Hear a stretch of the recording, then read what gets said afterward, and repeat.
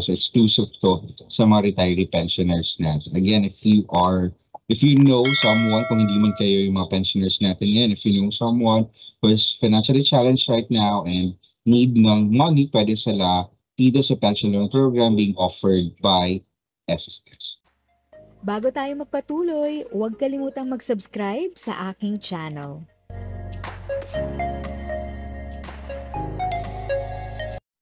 Thank you sa pag-click ng aking video. Good day po sa lahat ng ating SSS pensioners. Sa mga bagong viewers at napadaan lang, by the way, I'm Tita Eda. Welcome to my channel. Ang channel na maghatid sa iyo ng dagdag kaalaman tungkol sa government services, bagong mga balita at informative videos na galing sa legit na resources. Mag-subscribe na para updated ka. So exclusive to sa mga retiree pensioners natin. Again, if you are if you know someone, kung hindi man kayo yung mga pensioners natin yan, if you know someone who is financially challenged right now and need ng money, pwede sila dito sa pension loan program being offered by SSS. So itong program natin nagsimula noong 2018 around August, you know, so in-offer again, same since it began, talaga exclusive lang sa mga retiree pensioners natin.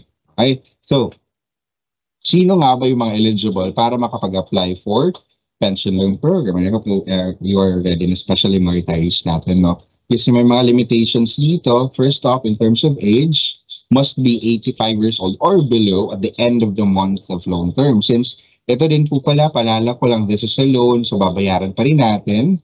Uh, hindi siya benefit, but the good thing is medyo uh, reasonable naman, special in payment terms niya, flexible din naman, hindi siya ganoon kabigat para sa mga retiree pensioners natin. So again, in terms of age, must be 85 years old or below. Kung kayo po ay 84 years old and 4 months right now, you would apply for pension loan, ang maximum na meron natin ibigay sa inyo na payment term for your loan is 6 months. Okay, ito yun. Ibig sabihin If you're already 83 years old in 10 months, maximum na pwede natin ibigay na payment term for your pension loan regardless of the amount is 12 months na payment term. If you're 84, 82 years old and 10 months pababa, mas younger pa, so 24 months, pwede niyong bayaran yung inyong pension loan. So ganoon naman din siya ka-flexible. Imagine uh, for 2 years no, mababayaran yung uh, i-avail niyo ng pension loan program. So ibig sabihin, hindi din ganun kabigat kasi mas uh, spread out yung uh, maging monthly amortization would mean na uh, lower yung monthly na mababayaran din natin. Okay, so tandaan lang natin in terms of age, dapat 85 years old or below. Dun sa, hindi yung application mismo ha, hindi yung application ng pension program, kundi yung uh, end ng payment term. Okay? Now, so pang kailangan dito is merong my.sss account. Hopefully, all of our members have uh, My.S account na din uh, uh, kanina no, dun sa hindi lang, especially yung mga soon-to-be retirees natin, as very much convenient for you to create your online account na kasi dito na lang ipa-file diba, yung retirement benefit. Also, if gusto ninyo mag-avail ng pension loan program, my.sss na lang, there's no need for you to visit the branch. Of course, we still consider yung risk na if you go out of your homes just to file for a loan. So pagdating dito, online na. Di ba? Ganun na convenient yung application. Linya Ford Pensioning Program. And kailangan lang po mayroong active and current mobile number. This can be updated din naman on your My.S account. So make sure, okay, make sure that you are, uh, you have a My.S and updated yung contact information ninyo. Uh, kaya ito mobile number for for you to receive yung mga timely na mga notifications with regard to your application dito sa pension loan. Okay? Also, must have at least one of the following. Ito, kasi mode of disbursement natin, kung hindi siya through check, like any other benefits that we offer right now, it is through a uh, bank account enrolled dun sa inyong disbursement account enrollment module. Ngayon, kung retiree ka din naman na, of course, meron ka nang naka-enroll na daim kasi doon din pumapasok yung pension ninyo. So any Pesnet participant bank If you have a UMID card with ATM functionality, yun din, din, din pumapasok yung pension ninyo. Diba? So, yun ay gagamitin. Wala naman, if you pay quick card, ayan. So, ito's available sa mga branches natin. Pero kung meron na kayong again passionate participant back enrolled dun sa inyong disbursement account enrollment module that will be enough para dun sa crediting ng proceeds para dito sa ating pension program. Okay? Diba? Must have no deductions. Himayin natin to kasi kasama to. Okay, dun sa eligibility. Pag sinabi natin no deductions, ito yung wala kayong binabayarang loan pa kay SSS. Halimbawa yung ano, anong nag-retire kayo, meron kayong unpaid loan obligation, tapos hindi nyo pa siya nabayaran. Pa. So, yung pension yun na natatanggap supposedly monthly, yun yung pinambabayad ngayon dun sa inyong ano, uh, loan. Halimbawa, salary loan yung dati, calamity loan dati, hindi nyo nabayaran ng pan-retirement. So, binabayaran pa siya gamit yung inyong monthly pension. So, wala pa talaga kayo natatanggap na buwan ng pension. So, unfortunately, hindi pa pwede makapag-apply ng pension loan. Okay? Pangalawa, uh, must have no existing advanced pension under the SS Calamity Loan Package. Kasi pag nag-offer tayo ng Calamity Loan Package, aside from loans para sa mga members natin, kung kayo po ay pensioner na, you can um, apply for three months advanced pension, di ba? So kung you are still on that duration, three months na kinuha niyo advanced pension, wala pang natatanggap, hindi pa nagre-resume yung buwan ng pension ninyo. So unfortunately, hindi pa rin pwede sa uh, pension loan program. Okay, kasi again, kung pangatlo, must be receiving their regular monthly pension for at least one month and status of pension is active. So same din po kasi may mga nakita na tayo kanina sa retirement benefit. Now, those who would like um, avail the advanced 18 months pension, so hindi pa din siya pwede not unless mag-resume na yung buwan ng pension ninyo talaga. Yung on the 19th month or on the 20th month, that's the time na pwede tayo makapag-apply ng pension loan. Kasi kailangan natatanggap nyo na yung regular, yung one ng pension ninyo, uh, at least one month and then yung tuloy-tuloy. Walang deduction, hindi kayo nag-avail yung uh, itong advance three months na pension under calamity loan package. And again, uh, after yun ang inyong advance pension. Okay? Now, pinaka-naantay natin ito, magkano ba ang pwedeng hiramin dito sa ating uh, pension loan program. Now, how much is the loanable amount? So it will depend on your basic monthly pension or DMP plus yung additional 1,000 uh, additional benefit but not to exceed 200,000. So 200,000 yung max natin but again, it will still depend on your basic monthly pension or yung DMP. Okay? So loanable amount, meron tayong mga multipliers dito uh, based on your BMP or basic monthly pension plus yung uh, 1,000 additional benefit, you can apply for three times of your BMP or pwede namang six times, nine times, pwede din 12 times. So, depende din. And uh, considering din yung inyong uh, age upon application kasi nga, di ba, kailangan uh, below 85 years old at the end of the loan term. So, for three times of your basic monthly pension, kung limbawa, nagpe-pension kayo ng 3,000 na naman. So, 9,000 yun. Plus yung additional 1,000 benefit pa. So, 6 months yung babayaran yun. If it's 6 times or, yeah, 6 times, 12 months yung babayaran. Depende din sa multiplier natin, no? If it's 9 times or 12 times, payable siya for 24 months. Okay? Now, what's good thing about this? Kasi nga, some would like uh, yung mga pensioner natin that are financially struggling right now, they would opt to go dun sa mga lending offices natin, no? Uh, tapos nasa-surrender kasi din yung ATM. And uh, if it's your choice, okay lang naman. Pero we are offering a better option, no? Uh, sa atin kasi hindi natin kinukumpiska yung inyong ATM. And we make sure na even though you are paying for your uh, amortization dito sa pension loan program will still be having a pension uh, take home at least 47.25%. Di ba? So habang kayo nag habang kayo nagbabayad ng pension loan, kayo po ay nakakatanggap pa rin ng monthly pensions. Hindi kayo dito mahihirapan. Hindi kayo parang malulubog din talaga totally kasi again, nakahiram na kayo, nababayaran na yung loan, meron pa rin kayong uh, net take home pension. So, more detail, more details na ito mamaya. Uh, pag pinakita ko na yung online application. How to apply for pension loan? Ito na kailangan. Uh, advice talaga natin ngayon is through my.ss. If you haven't created your my.ss yet, kasi ba ibang tatanong, pensioner na ako eh, bago pa nag-digitalization, bago pa ah, naging man, naging nag-offer ng online application ng retirement. If I'm already a pensioner, can I still create a my.s? The answer is definitely yes. Pwede pa rin naman. So, piliin niyo lang option doon yung savings account na ginagamit ninyo ah, kung saan nyo natatanggap yung monthly pension. You can still create an online account. So, my.sss soon will be available in mobile app and yung mga sets natin, self-service, self-service express terminal sa mga branches natin. Okay, so how to apply uh, online? Login lang kayo on your my.sss. Visit niyo aming website na www.sss.gov.ph. Hanapin niyo pa yung member login, key your user ID and password, and then click on sign in. Tapos, under loans, hover niyo lang yung mouse, tutok niyo dun sa loans, tapos sa baba dun merong apply for pension loan. Apply for pension loan. Pag na-click ninyo, dito lalabas, no? Depending on your monthly pension, dito kasi pension is 2 to 60. Okay? So, depending on your monthly pension, may kita nyo dyan yung prescribed na loanable amount.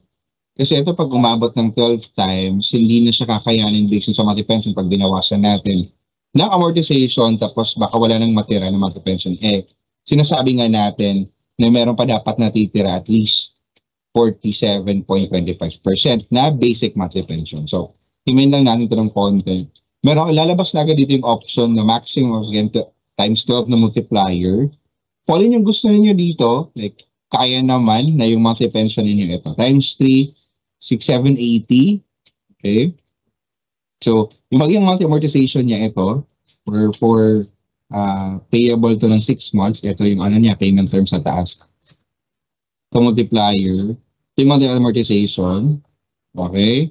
Now, monthly pension after loan deduction. So, ito, ito yung binabayaran ninyo monthly. Okay? Ito, matatanggap nyo pa rin to monthly. Di ba? So, ito yung binabayaran, ibinabawas sa pension ninyo, pero meron pa rin kayo matatanggap na monthly pension. Imagine, we're able to loan for around net 6-7, tapos nababayaran na yung pension, may pension pa rin kayo monthly. So that's how convenient our pension loan program is. Hindi namin inayang mga pensioners natin na mas ah, lalong mahirapan when it comes to ah, payment of this pension loan program. So, mapapansin nyo din dito na meron dito tinatawag na CLI premium.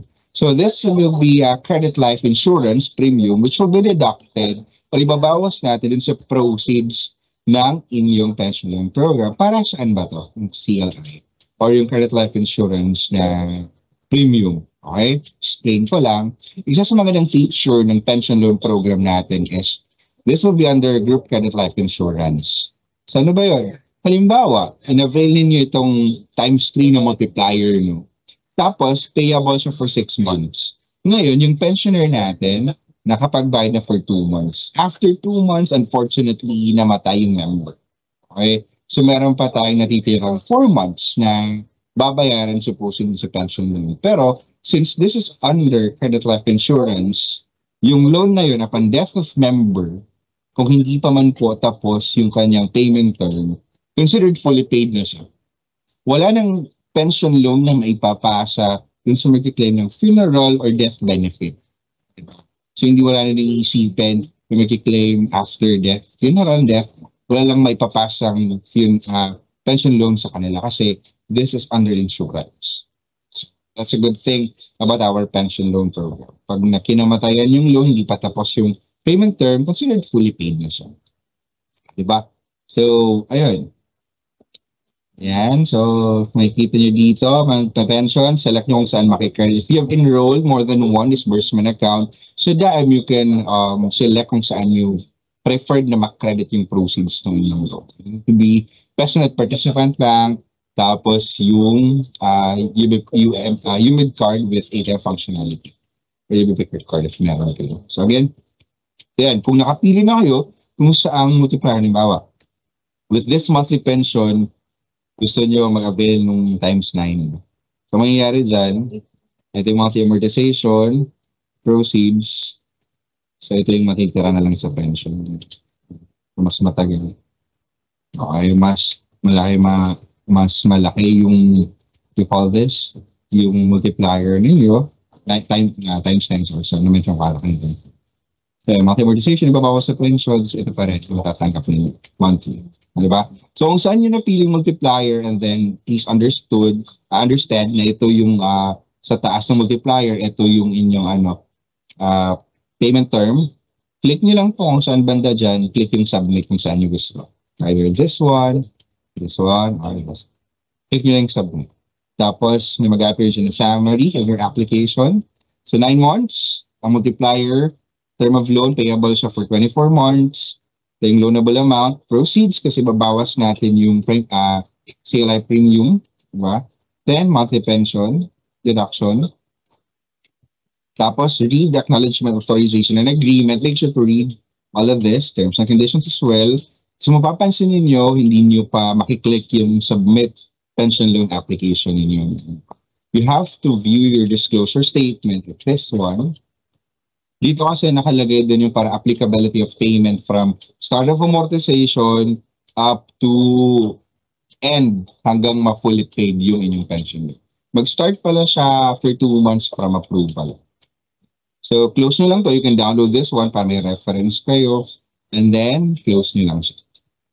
Tapos, pagbalik nyo doon, pag na-close na, makita nyo, clickable yung submit pension loan, then you can click on this.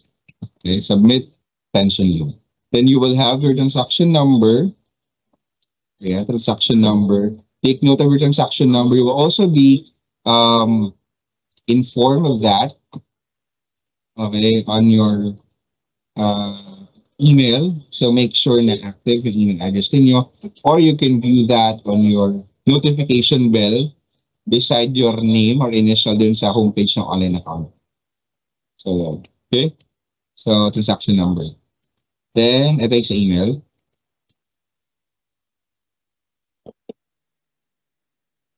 Tapos, may option naman tayo no, for those na hihirapan. Meron namang personal filing. Okay? So, you can submit the filing documents to any branch. Dapat mention loan, um, pension loan pro, uh, pension loan application form. Tapos, SSID or UMID card, dalhin. Tapos, pwede po kayo doon mag-apply or mag-apply nung uh, pension loan, tapos pwede din kung wala kang disbursement account, mayroong uh, UBP Quick Card dun sa na i-offer uh, yung ating branch no para doon mag-credit yung disbursement. Uh, yung inyong proceeds ng pension. Ano yun? Okay, yun ang katagal yung crediting. Crediting of the pension loan program is actually 3 to 5 working days. If sa tingin mo, natulungan ka ng video ko na ito, nakasave ka sa oras mo, you can click yung thanks button at any amount ay malaking help sa pag-grow ng channel ko. Yan lang po muna ang aking update. Sana ay nakatulong na dagdag kaalaman ang aking share today. Ang goal ng aking channel ay mag-create ng awareness. Kung ganitong mga topic ang gusto mo, panoorin mo ang mga videos ko na ito.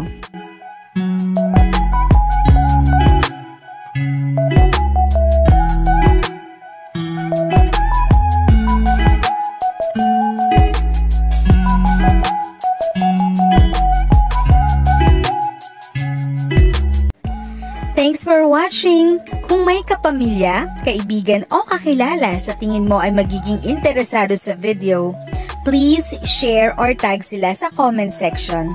At syempre, if nagustuhan mo ang video, ilike mo na ito at subscribe ka na din. As always, feel free to write your questions, comments, and opinions respectfully. And continue to be a blessing and stay safe.